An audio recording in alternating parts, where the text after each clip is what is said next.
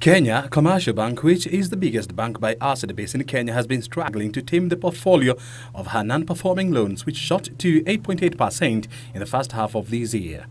The full year target for non-performing loans was 6%, but Chief Executive Officer Joshua Oigara says he hopes for a lower level going forward. I think we've put in a lot of effort to to, to get more, uh, more more flows, and we're also looking at money payment systems. I think. Um, we are right now what's happening with even partnerships like Visa and Mastercard. There's just there's not just mobile you can pay. You can actually even pay now from a card to a card.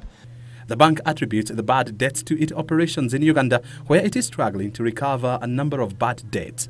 The bank says it will employ new mechanisms to recover the money.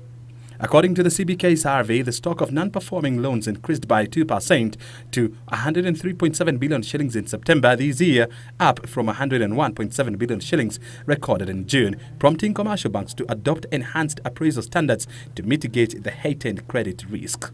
But our strategy has been a lot of, a lot of it will be driven by the partnership we have here locally, you know, working very closely with many players that we work with.